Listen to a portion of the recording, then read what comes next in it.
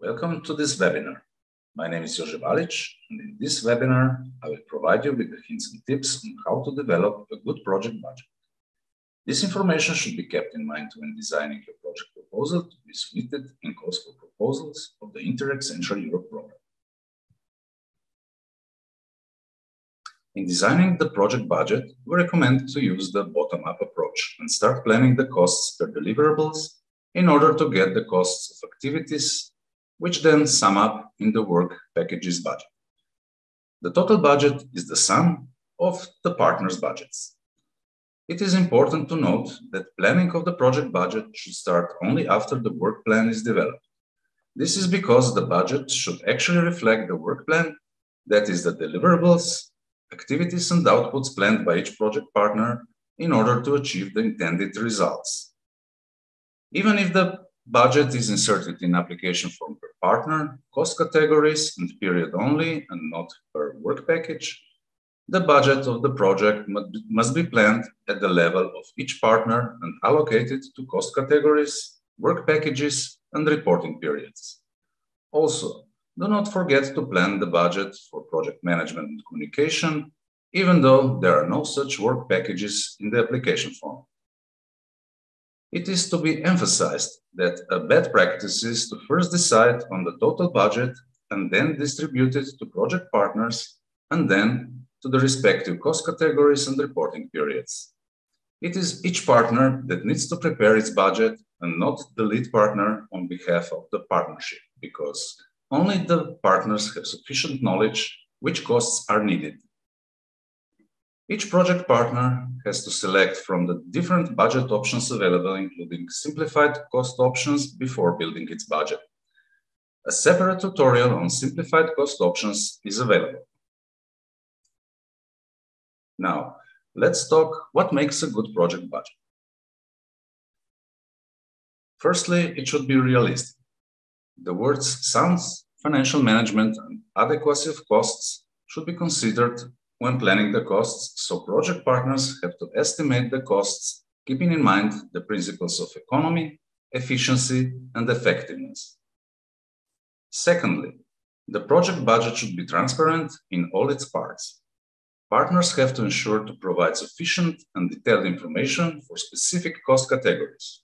Cost category 4, external expertise and services, cost category 5, equipment expenditure, and cost category 6, infrastructure and works expenditure.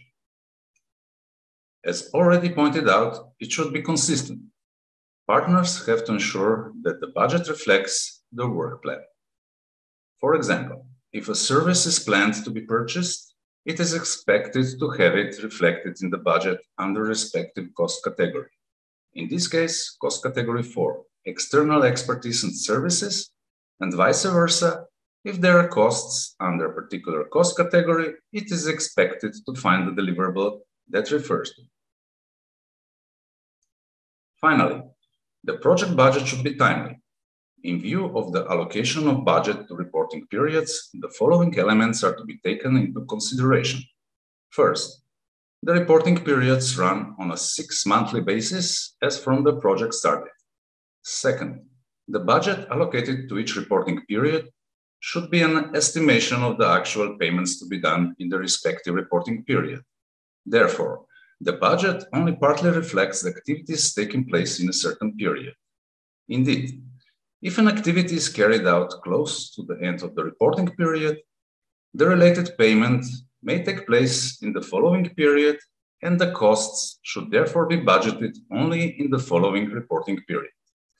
Our tip is partners should not expect to spend too much in the first reporting period because from our experience, not many payments are made during the startup phase.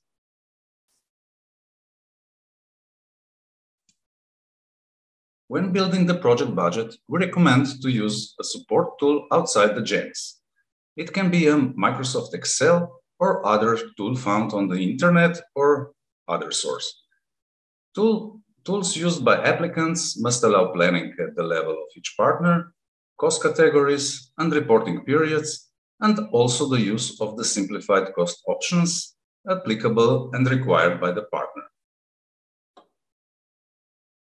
Prepared data should then be inserted in the Jems by the lead partner at the project partner level. The total budget in Jems will be calculated automatically. A lump sum for preparation costs and contracting has to be included in part E of the application form for it to be reimbursed. And investments of more than 25,000 euro needs to be specified in part C of the application form. For more information on financial issues important during designing of the project proposal, please refer to the application manual, which can be found on our website. We also warmly invite you to watch our webinar on the simplified cost options. Thank you for your attention and good luck with your project proposal